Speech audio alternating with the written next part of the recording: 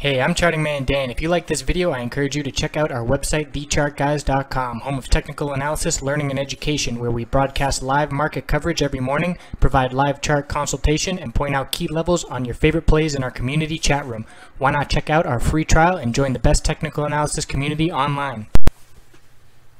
Looking at Amazon on the daily and weekly time frame, we have clear support here, 570, three candlesticks dipping below that level, and the bulls buying that dip and clear resistance the high Friday 584.62 high today 584 even. So a bit of a shrinking range a little consolidation. We'll be looking for a more convincing bullish candlestick as these are a bit of bullish reversal candlesticks no confirmation. Need to see a nice green solid day for that to happen. And bulls are looking for a break of 584.62 after that resistance will be 610 the 100 day moving average resistance and then the 10-day moving average resistance should be right around 600 as well after the open tomorrow. A close below 570 will indicate further downside, but we did fill this gap here back in the end of October, so that could be a point for the bulls to step in and see a short-term bounce.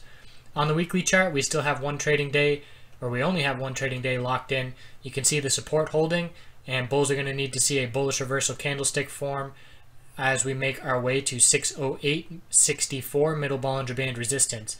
So look at this uptrend on the yearly or the year-long weekly chart. Clearly higher lows and higher highs and many stocks are right now close to their August crash lows and Amazon is way ahead of the game in that sense. We could drop all the way to the 50-week moving average support of 505.17 and still be maintaining the higher lows. So Amazon certainly built itself a cushion with the very bullish fall that we had in 2015. 540 is going to be some key support as it was a key resistance level for quite some time. So Amazon still as a long-term bull is looking great on this weekly chart. So that's what we're looking at. We'll see if tomorrow we can get that green day. If you like this candlestick, come on by thechartguys.com if you like this video and we'll give you a free week trial. I'll show you what we're all about it's very important if you're watching Amazon to be watching the overall markets and watching oil as well because they are all certainly tied together and each one is only a piece of the broader picture. So that's what I do all day on the live webcam and on the live chat is monitoring all those things to take off some of that responsibility from you and we'll see if you like our service. Come on by. Thanks for watching. Have a great night.